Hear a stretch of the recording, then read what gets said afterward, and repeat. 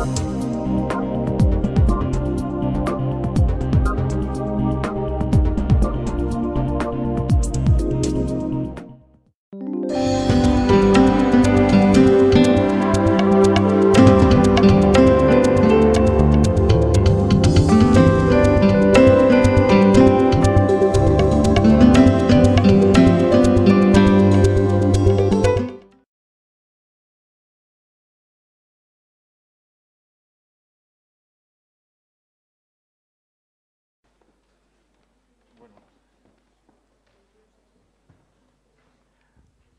Buenas tardes. Gracias Javier, gracias a todos. Eh, primero viene la tanda de agradecimientos. Sobre todo quiero agradecer a mi equipo, al equipo del que formo parte, eh, que haya podido ser, eh, hacer posible este, este congreso que tanto esfuerzo nos ha llevado a todos. Unos participando directamente y otros apoyando para que los demás pudiéramos dejar de hacer otras labores y poder dedicar el tiempo para organizar este, este congreso. También gracias a todos los que estáis aquí con nosotros, eh, eh, especialmente a la gente que viene del extranjero, la gente de Iberoamérica, que sabemos el esfuerzo que representa poder venir hasta Europa. Bien, y sin más, voy a empezar mi, mi conferencia avisando de que no va a ser una conferencia típica. Yo soy lo que soy, soy un educador no un teórico. Y entonces, bueno. La primera diapositiva que os he puesto es esta imagen de Muntadas. Con Muntadas hemos hecho un taller aquí hace un, año y pico. Y esta frase me, gustó mucho. Bueno, esto se desarrolla, esta instalación se desarrolla en Buenos Aires. Y dice una frase que me fascinó desde el principio por eh, esa, esa faceta mía de observador del que observa. ¿no? Dice, atención, la percepción requiere participación. Sin saberlo, Muntadas había definido en esta frase gran parte del espíritu de, eh, perdonad, de nuestro área, porque,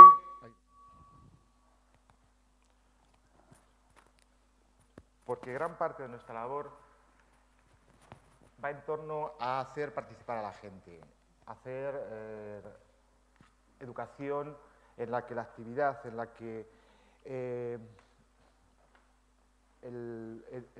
educando forme parte activa del proceso. Conectivismo, posmodernismo, inteligencia colectiva, currículum oculto, intercreatividad, cultura visual, multitudes inteligentes, sabiduría de las multitudes, arquitectura de la participación. Bueno, aviso a todos los educadores que estéis por aquí presentes, cuando empecéis a oír a los de la universidad, dicho estas palabras, empezar a desconfiar. Porque verdaderamente vienen a aprenderos algo. Eh, la relación entre el museo y la universidad nunca ha sido todo lo grato que tenía que haber sido, igual que entre la escuela y el museo. Y naturalmente nunca ha sido bueno tampoco la relación, por lo menos en este país, entre el museo y la escuela. Es algo que entre todos intentamos solucionar. Yo, gracias a Dios, tengo muy buenos amigos en la universidad, colegas que de vez en cuando participamos en proyectos conjuntos. Pero aún así quiero avisaros, porque ante todos los educadores que estáis aquí sois mis colegas. Los de la universidad son colaboradores nuestros. Ay, perdona, es que no, el cacharro. Bien, primero voy a presentarme de otra manera. Me ha gustado mucho la presentación de Javier. Javier me quiere mucho, ¿eh? Entonces ahí va con truco. Yo también le quiero mucho. Pero yo quiero presentarme como lo que soy. Yo ante todo soy un educador. Pero como todo educador de museo, soy un educador anónimo. Eh, esa figura del educador anónimo viene dada por muchas cosas. Primero, porque dentro de los museos somos muy anónimos. No se cuenta con nosotros para casi nada. Segundo, somos anónimos porque muchas veces también se nos ignora desde la universidad. Se nos ignora toda la práctica que nosotros tenemos. La teoría está muy bien, pero también leemos nosotros, sabemos leer, ¿eh? Reflexionamos sobre lo que hacemos, hasta, hasta reflexionamos. Bien, Eh, y además otra cosa más, eh, también somos anónimos porque muchas veces, frente a la escuela, frente al profesor, también en muchas ocasiones nuestra labor es menospreciada. Se nos ve más como una empresa de servicios que como un colega que hace su labor educativa. Yo por eso soy un educador anónimo y ahí estoy.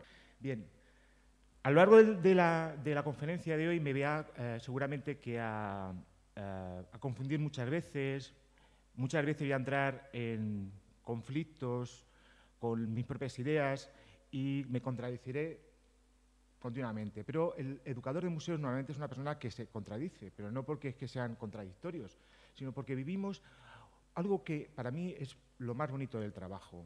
Eh, vivimos en un ecosistema muy complejo, hacemos una labor que parece que no es compleja, pero es muy compleja, que continuamente va cambiando. Nosotros tenemos que ir haciendo modificar lo que, eh, lo que estamos haciendo día a día, minuto a minuto, porque el público va cambiando minuto a minuto.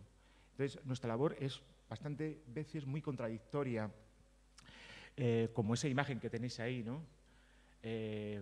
contradictoria, ¿por qué es contradictoria? porque en, una misma, en sí misma contiene otros muchos mismos, ellos mismos, ¿no? Es como la cita de Walt Whitman, ¿no? Eh, me contradigo, decía, claro, claro, claro que me contradigo, al fin y al cabo soy vasto y en mí contengo multitudes, decía Walt Whitman. El educador de museos siempre está con eso, con esa contradicción interna. Bien. Esta diapositiva quería un poco para aclarar también de qué estamos hablando. Mucha gente me preguntaba, uy, qué tema más raro has elegido, ¿no? Te metes en unas cosas un poco pelagudas, son cosas, conceptos muy actuales, revisiones del, constructivismo que están ahora un poco formándose, eh, todas basadas en sistemas caóticos del conocimiento. Yo evidentemente no voy a hacer un planteamiento teórico. Luego que hacer una exposición práctica de lo que es el educador de museos, utilizando recursos que tienen que ver con el conectivismo especialmente, y con otras estrategias caóticas de transmisión y recepción del conocimiento. Ante todo, esta imagen la he hecho esta mañana en el cuarto de juguetes de mi hijo, porque eso sí que es un sitio caótico. El museo es un ecosistema muy complejo y es una cosa que se desconoce si no la vives tú día a día. Un ecosistema muy, complejo que vivimos los educadores de museos. Eh, ¿Por qué? porque en él confluyen muchos intereses, muchas formas de trabajar, eh, confluyen muchas disciplinas, confluyen muchas ah, formaciones distintas. Y dentro, dentro de ese ecosistema que ya de por sí es complejo, entra educación. Educación, por definición, es algo bastante caótico eh, porque muchas veces eh, nos hacen ser caóticos desde, otros, mm, desde otras instancias, digamos, del museo. ¿no? También debería aclarar algo sobre el caos. El caos no lo entiendo como algo negativo. Si alguien lo entendido así, pues no. El caos para mí es algo positivo. Soy muy caótico yo, por definición. Mi equipo lo puede decir y lo puede hacer. Se ríen todos, que ¿Cómo sois? Somos muy caóticos todos vamos a gran velocidad. De hecho, toda la educación es caótica, ¿no? Sobre todo, si os fijáis, por ejemplo, en el aula, hay muchas disciplinas que todas confluyen en el, aula, que se hacen más complejas, no tanto en la enseñanza primaria, en la enseñanza secundaria se hacen más complicadas, porque esas disciplinas aparecen en cajones separados. Es decir, el profesor de historia es el de historia, el de matemáticas es el de matemáticas. Entonces, las complejidades de poder trabajar de una forma vinculada pues se multiplican mucho. También es cierto que aparecen otros factores que hacen que sea muy compleja la educación. Por ejemplo, muchas inteligencias.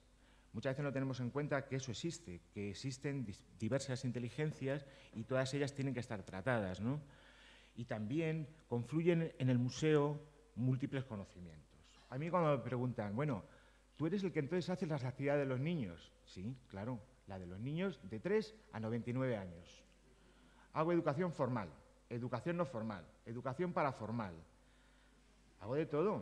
O sea, las complejidades que tenemos los educadores de museos no tienen nada que ver con las complejidades que tienen, que también las tendrán en la escuela o en la universidad. Se nos exige todo, trabajar eh, eh, desde el punto de vista más formal, también. Y muchas veces vienen y nos dicen, tengo la metodología FEDEN, la metodología, dices, cuando la ves, dice, bueno, sí, para esto, pero es que yo tengo que aplicar múltiples estrategias metodológicas en mis múltiples facetas de trabajo. No puedo trabajar de la misma manera utilizando las mismas estrategias con una en un ciclo de conferencias que una visita para niños. Esas, esas cantidad de variables que confluyen en la educación de los museos es algo que muchas veces se pasa por alto. Y a mí es una cosa que me gusta remarcar. Conocernos, conocernos bien, todos, antes de decirnos cómo o qué es lo que tenemos que hacer. ¿no? Esta es otra imagen de mis hijos y sus ganas de colocar. Esta me gustaba por el tema patrimonio que aparece ahí, el chico romano, Estefan. Bien. Ahí va, perdona. A ver. La pregunta que yo me hacía al principio era, ¿dónde reside el conocimiento? ¿Dónde reside el conocimiento? O al menos eso creen algunos. Esta es buena, esta es un homenaje a Javier, a Javier Arnaldo, que de la Bajao sabe mucho, y es una cosa que tengo puesta detrás de, mí, en, donde yo trabajo. Ah, el conocimiento es poder, decía Francis Bacon, ¿no? Y es cierto, cada vez eh, la gente cree que el poder está en la posesión del conocimiento, pero eso está cambiando. Es una cosa que está cambiando a pasos agigantados. El poder ahora mismo no está en la posesión del conocimiento, sino en la capacidad que tenemos de encontrar el conocimiento, de conectar nuevos conocimientos, de encontrar las conexiones. ¿no?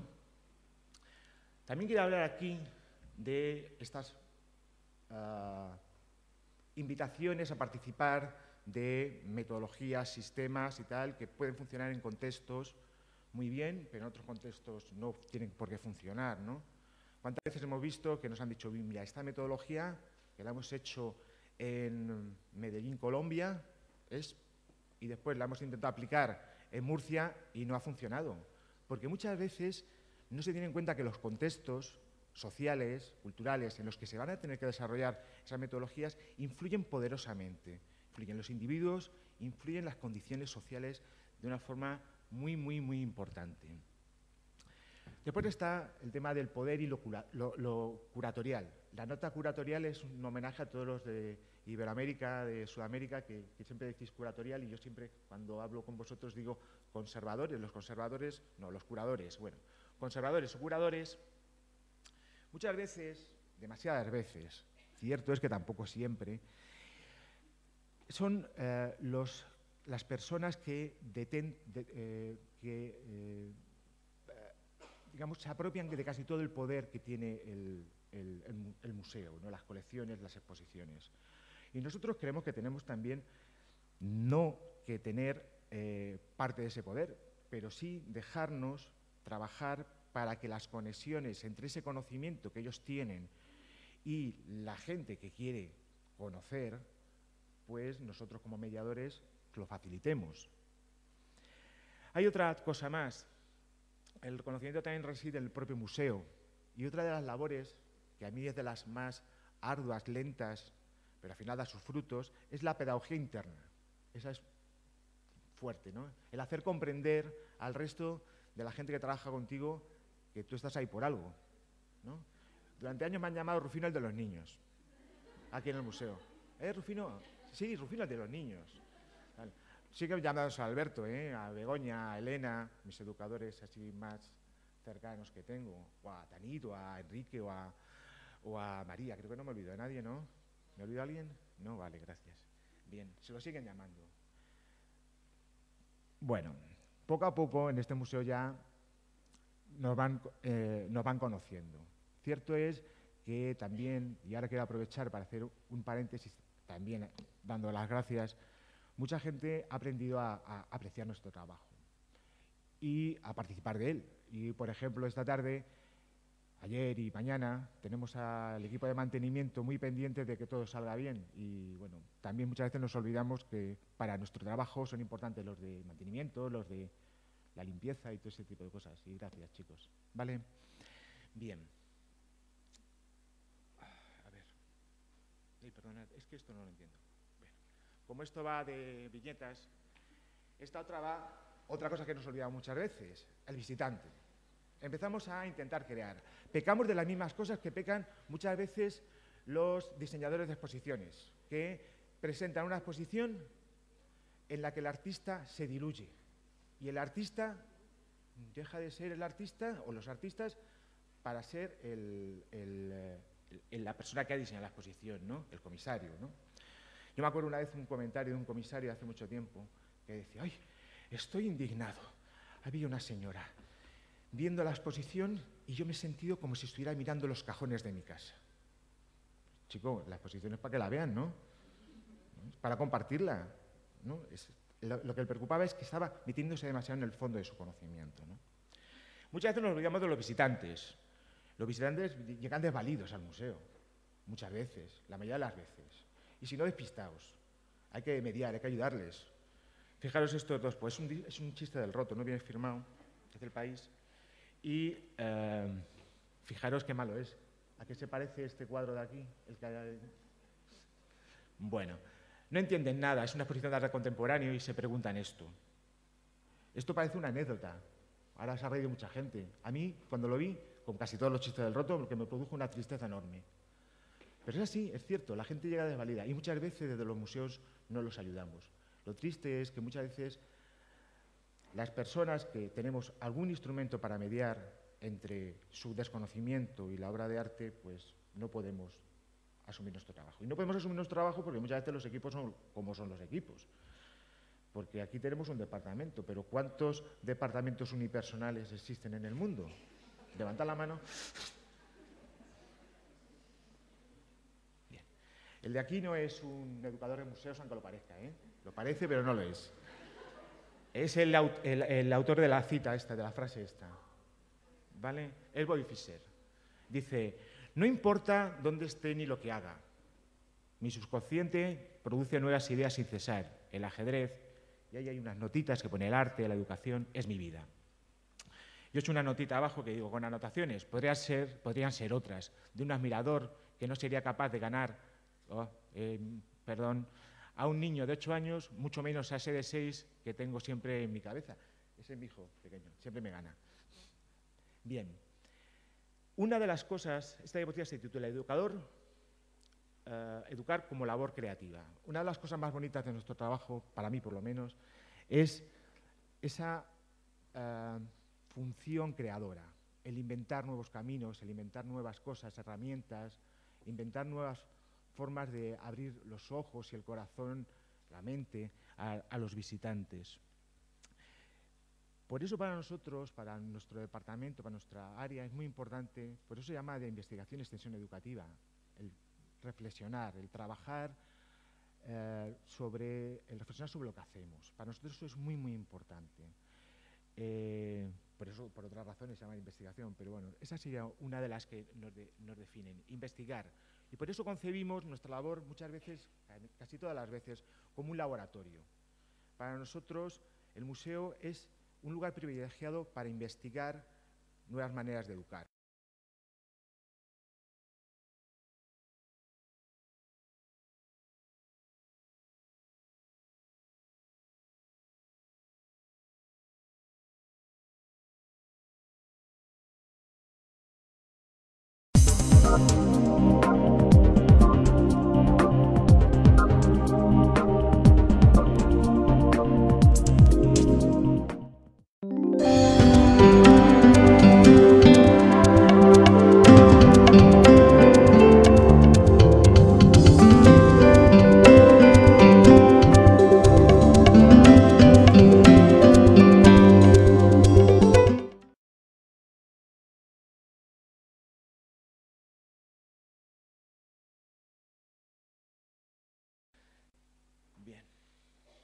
Que aparece a la izquierda es un taller, eso es tamaño real. O sea, ahí cabe gente. No muchos, o sea, no puedo llevaros a todos. Bien.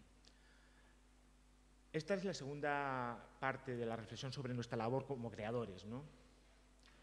Y esto quiero hacer un alegato sobre la demolición, porque otra de las cosas que desde el museo se puede hacer muy bien y desde otras instancias educativas es muy difícil hacer, es eh, desmontar cosas. ¿no? Por ejemplo, pongo un punto, la educación en los museos como ejercicio de deconstrucción. Nosotros podemos deconstruir cosas, deconstruir mentes, por ejemplo, ideas, deconstruir currículum. Currículum oculto del que tanto se habla, a mi parecer el currículum oculto se repite ad eternum, porque siempre que algo se socializa, algún currículum se socializa, tiende a aparecer el currículum oculto, pero siempre vuelve a aparecer otro currículum oculto. Es como la pescadilla, es como la cola, ¿no? Eso siempre es innato, ¿no? El currículum oculto a todo, ¿no? Bien, nosotros podemos reconstruir todo eso, en la escuela es muy difícil. Nosotros también somos un agente socializador, entre la gente que viene, entre los visitantes que vienen, entre los grupos que vienen, entre unos grupos y otros. Eh, y por tanto también podemos hacer algo que muchas veces no nos planteamos. Desde el museo podemos hacer una cosa muy bonita que es algo así como repensar, repensar uh, la sociedad. Porque para mí es muy importante la sociedad que nos acoge, para mí. Cuando hablo para mí estoy personalizando mucho, digo, para mi gente, no para mi equipo, es muy importante la sociedad que nos acoge, porque ellos son los que nos sostienen, evidentemente. Y cuando hablo de sociedad no hablo de la gente de Madrid, ni de la gente de España, también el niño que está en Buenos Aires tiene derecho a poder participar, aunque nunca venga al museo, del conocimiento que se genera en este museo. Esa es una de las labores que más nos preocupan, no puede llegar lejos, llegar a todos. No tiene por qué ser un visitante presencial. Bien que vengan la gente a los museos, nos encanta, estamos para eso. Nosotros también queremos ese otro visitante que nunca va a poder acceder al museo. Ellos también tienen derecho y ahora yo creo que es un buen momento para repensar. Estamos al principio del siglo, ha empezado la gente a plantearse cosas y tal. Bueno, lo del constructivismo, lo, perdón, lo de, sí, lo del constructivismo siempre está en revisión, ¿no? Siempre aparece revisiones. Vamos a preguntarnos sobre el constructivismo. Pero ahora han aparecido muchas, muchas revisiones. Esas revisiones tienen mucho que ver con cambios paradigmáticos que están produciendo, ¿no? Cosas que a lo mejor exageradamente algún eh, psicólogo ha denominado eso que se llama neomorfismo digital, que es algo así como que nos están cambiando los cerebros con las tecnologías y todo ese tipo de cosas, y no va descaminado el tema, pero bueno. Hay muchas cosas que podemos empezar a explorar ahora. Abren nuevos medios, nuevas formas de trabajar. Por ejemplo, las tecnologías de la que antes ¿no? nos permiten trabajar de otras maneras distintas. Y por lo tanto, repensar también las metodologías, las fórmulas que nosotros aplicamos para poder transmitir el conocimiento. Bueno, este vídeo es de un antropólogo americano que hace una reflexión sobre cómo las tecnologías, ah, los adelantos tecnológicos han influido en muchas cosas. Y una de esas cosas es que nos han hecho hacernos preguntas. esa parte última de las preguntas es la que me interesa del vídeo. Yo veo mucho paralelismo siempre entre la educación y las tecnologías en los museos. Antes, cuando llegaba alguien nuevo a un museo, decían, eh, eres el nuevo, ¿verdad? Tu educación. Ahora cuando llegan, dice, tú a la página web, ¿no? ha cambiado un poquito. ¿no? Eh, además, hay más paralelismos, más paralelismos muchas veces han ido de la mano, han crecido juntas. La educación se va haciendo muchos años, en los, muy pocos años en los museos. Y las tecnologías se han empezado a utilizar hace muy pocos años en los museos. ¿no? Por eso me interesó desde un principio unir estas dos cosas. ¿no?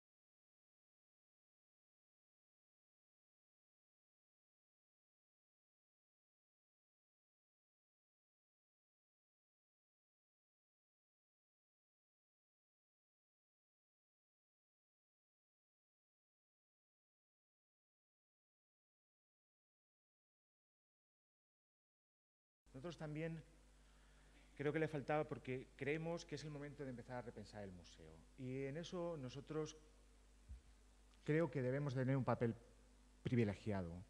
Bien. Penséis que no iba a hablar de conectivismo, voy a hacer una pequeña cita de George Siemens.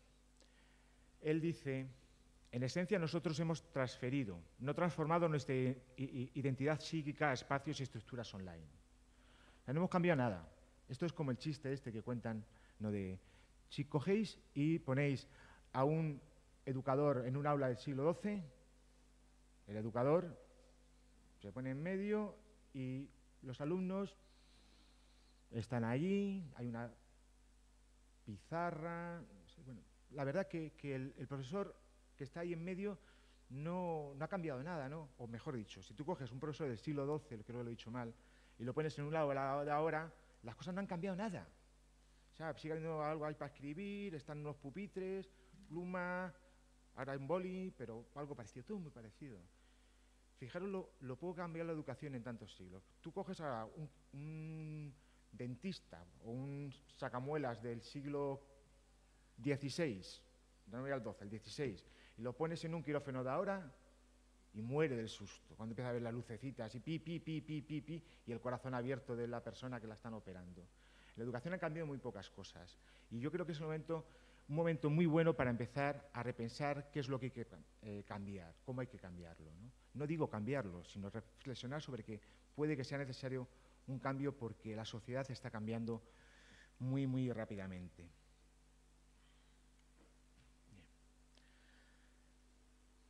Otra de las cosas o de, las, ah, de los rasgos de los educadores de museos es que siempre vivimos en torno a una cosa que en física se llama el principio de incertidumbre. Incertidumbre porque los contratos son de dos meses, incertidumbre porque porque no sé si esto le va a gustar al director, incertidumbre porque no encuentro recursos para poder hacer la guía didáctica, incertidumbre porque a ver el grupo este de dónde viene, cómo es y qué me hace. vivimos en la incertidumbre más absoluta, pero eso nos hace ser más ricos, porque eso nos hace estar despiertos.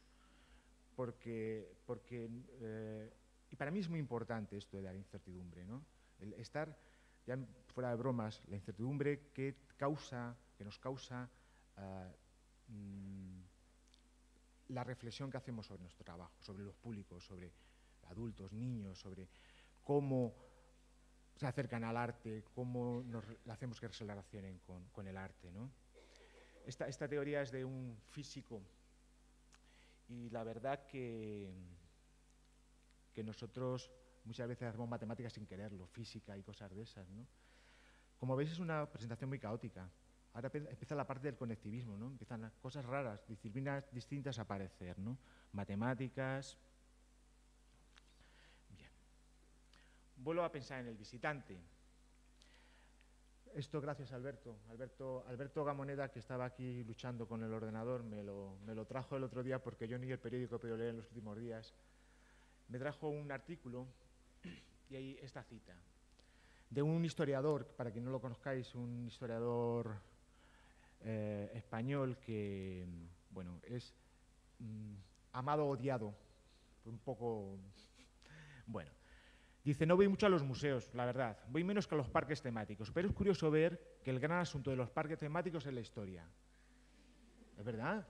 Egipto, eh, Roma, eh, cada vez y la gente, y la gente no se da cuenta de que de alguna, en, alguna medida se están convirtiendo los museos también en grandes parques temáticos. Y eso es muy malo, para todo, para el museo, para el conocimiento y, para el visitante, y para la educación peor.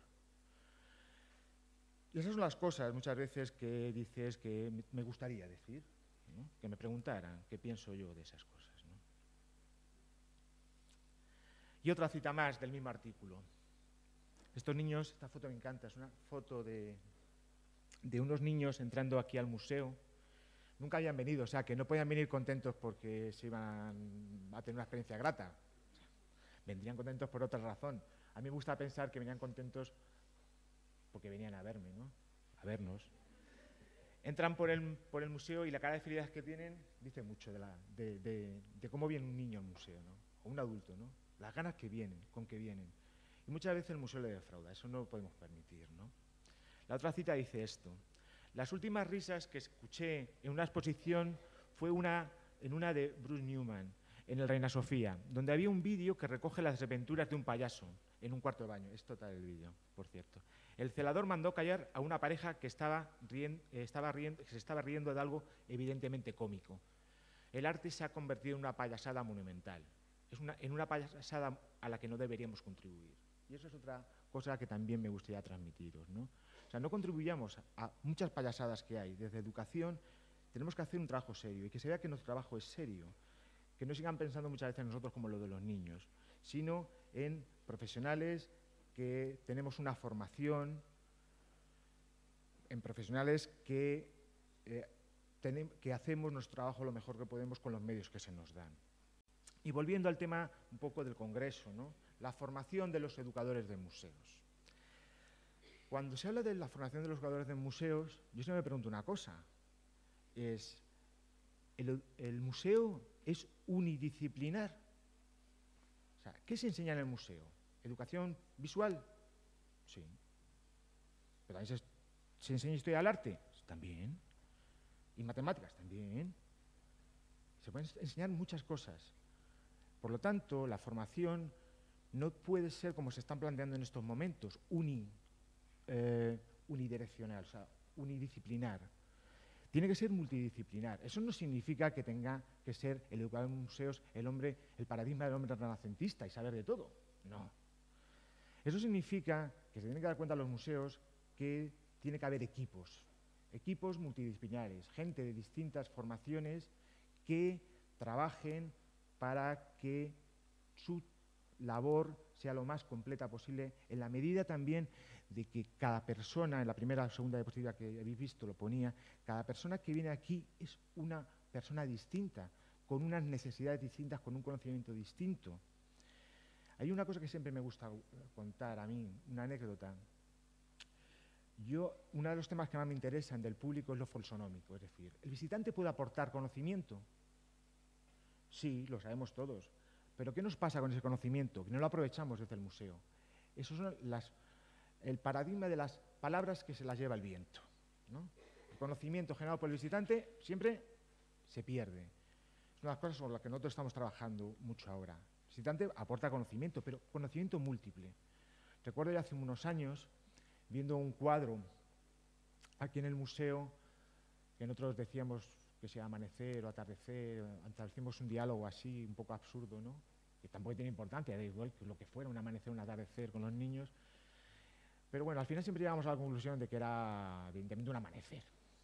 Llegaban los chavales a una conclusión, la mayoría de las veces. Nosotros no, no guiamos a, una definición, vamos, a, a, una certeza, ¿no? Entonces, perdón, ahora, sí, gracias. Bien. Eh, eh, los, niños van descubriendo la obra de arte. En ese, día los niños dijeron, bien, esto es un amanecer, como muchos días. Y entonces el educador, que era yo, dije, bueno, pues vale, bien, es un amanecer lo que vosotros queráis. Y un padre que está detrás dijo, no, eso no es un amanecer. ¿y qué es? Pues un atardecer.